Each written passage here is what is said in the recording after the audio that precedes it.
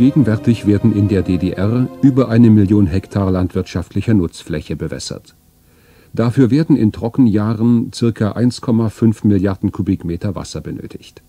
In solchen Jahren reicht das natürliche Wasserangebot für eine bedarfsdeckende Bewässerung nicht aus.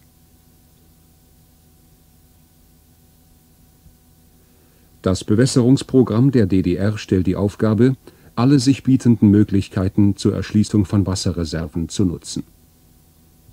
Eine Möglichkeit bieten die kommunalen Abwässer deren Menge mit der steigenden Zahl der Neubauten zunimmt. Ein großer Teil der gegenwärtig anfallenden 1,5 Milliarden Kubikmeter Abwasser könnte entsprechend den Güteanforderungen an Bewässerungswasser für die Beregnung genutzt werden. Derzeit wird davon nur ein geringer Prozentsatz effektiv genutzt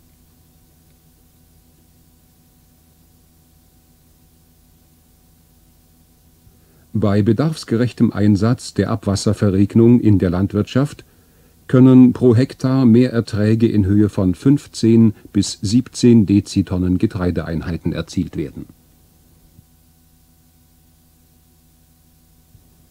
Die Verwendung von Abwasser weist gegenüber der Bewässerung mit Klarwasser Besonderheiten auf, wie Behandlung in Kläranlagen, Einhaltung der Hygienebestimmungen Nährstoffgehalt, spezielle Fruchtfolgen und Anlegen von Schutzpflanzungen.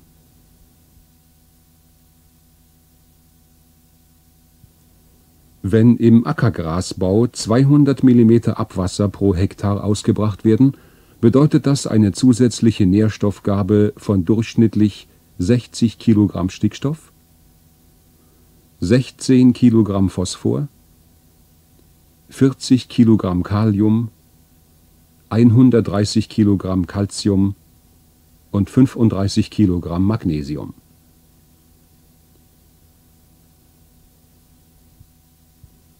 Bei dem zur Ertragshöhe und Ertragsstabilität notwendigen Mineraldüngungsniveau beruht der ertragssteigernde Effekt aber in der Hauptsache auf der Wasserwirkung bei überhöhten Abwassergaben kann es sogar durch Abspülung und Versickerung zu Nährstoffverlusten und zu Beeinträchtigung der Umwelt kommen.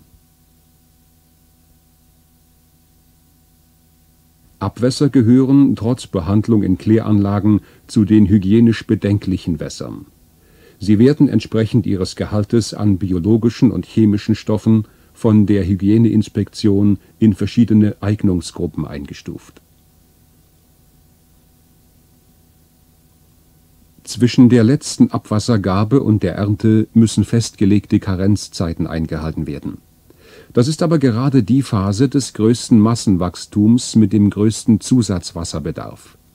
Auch wenn in dieser Zeit durch Trockenperioden der Zusatzwasserbedarf ansteigt, sind Mehrerträge mit Hilfe von Abwasser nicht zu erzielen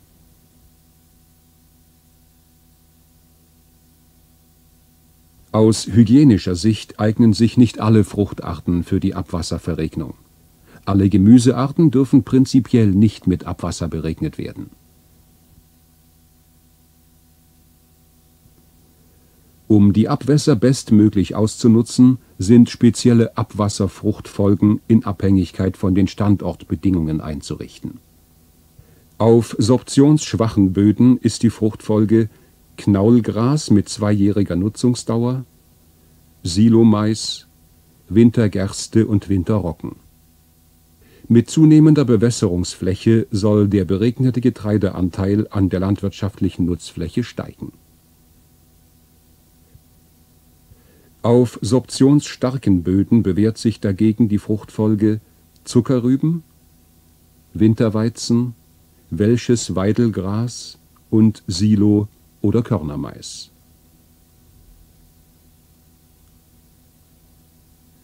In den Beregnungsfruchtfolgen werden bis zu 40 Prozent Getreideanteil gefordert.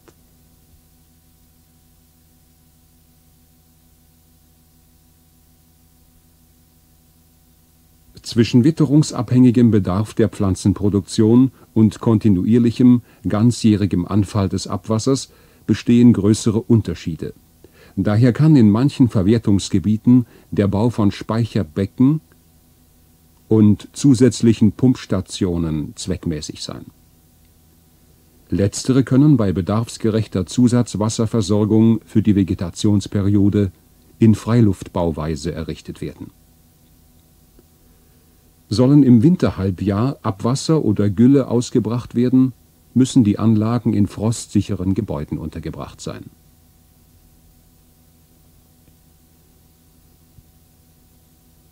Für die Abwasserverregnung werden vorwiegend rollende Regnerleitungen eingesetzt. Hauptsächlich mit dem Mittelstrahlregner U64 oder mit dem Starkregner G68, der mit einer Gummidüse versehen ist. Die am Ende der Regnerstränge befindlichen Endregner verhindern Verstopfungen durch mitgeführte Grobstoffe. Dem gleichen Zweck dienen die Schnellverschlussschieber